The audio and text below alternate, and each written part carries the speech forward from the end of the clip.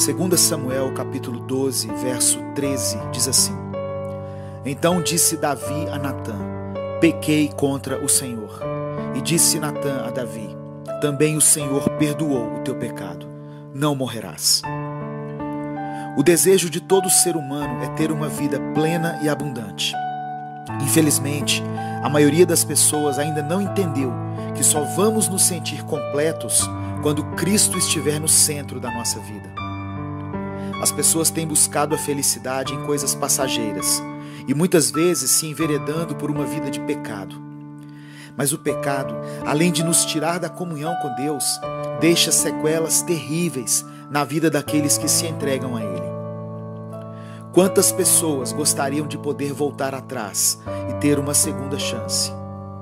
Muitos se lembram com pesar de um certo momento, talvez uma escolha errada, um instante em que agiram de forma precipitada, em que deram lugar à emoção e ao impulso.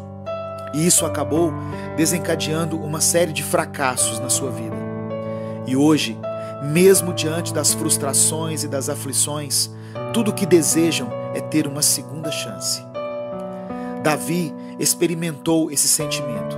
Ele pecou contra Deus, cometeu adultério e assassinato, traiu a confiança do Senhor, se deitou com uma mulher casada e mandou matar seu marido para esconder seu erro.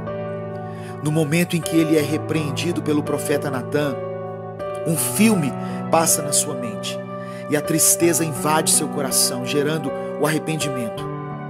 Tudo que Davi queria naquele momento era receber o perdão de Deus e uma segunda chance. As palavras de Natã soam como música para os seus ouvidos. Não morrerás. E o Senhor perdoou o seu pecado. Além de ter sido perdoado por Deus, Davi recebe do Senhor uma nova oportunidade. Hoje, eu quero falar para você que cometeu tantos erros na sua vida que acabaram te levando a situações irreparáveis, que têm causado dor e sofrimento.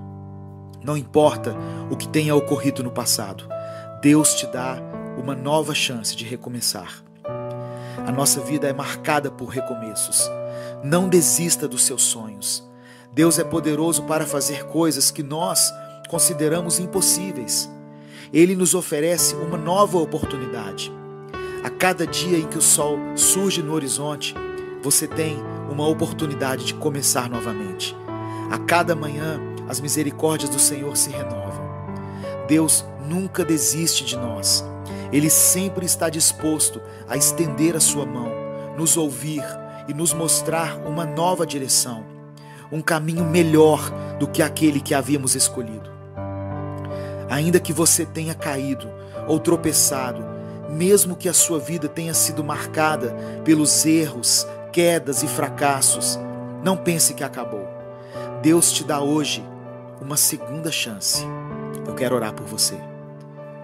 Senhor, eu te peço que nos dê uma chance de recomeçar. Muitas pessoas que estão ouvindo essa mensagem foram tão machucadas pelas circunstâncias da vida que hoje pensam em desistir Alguns pensam até mesmo em se matar. Mas que o Espírito Santo fale ao coração delas nesse momento e revele o seu amor e o seu perdão. Nos dê uma chance de recomeçar e nos dê força para suportar as adversidades e sabedoria para fazermos as escolhas certas. Eu oro em nome de Jesus. Amém. Deus te abençoe. Eu sou Edivaldo Oliveira Deixe o seu pedido de oração nos comentários.